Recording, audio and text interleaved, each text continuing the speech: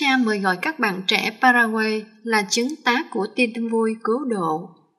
Đức Thánh Cha Francisco mời gọi các bạn trẻ Paraguay hãy ôm lấy Chúa Giêsu Kitô để ở lại trong người và sinh nhiều hoa trái,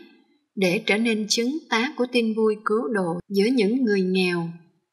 Diễn đàn giới trẻ toàn quốc Paraguay diễn ra từ 23 đến 25 tháng 8 vừa qua tại Asunción. Sự kiện này kết thúc 3 năm giới trẻ được giáo hội địa phương đề ra. Gần 600 người, đại diện cho các giáo phận và hạt đại diện tôn tòa của Paraguay đã tham gia các buổi gặp gỡ với nhiều khoảnh khắc lắng nghe, các chứng từ và các hội thảo về các chủ đề được những người trẻ ở cấp giáo hội và xã hội ở Paraguay ngày nay quan tâm nhất. Vào cuối cuộc gặp gỡ, trong thánh lễ bế mạc, Đức cha Pierre Chubinvin, giám mục giáo phận San Pedro và là người phụ trách diễn đàn, đã đọc sứ điệp của Đức Thánh Cha gửi cho các bạn trẻ, được ký bởi Đức Hồng Y Pietro Parolin, quốc vụ khanh tòa thánh.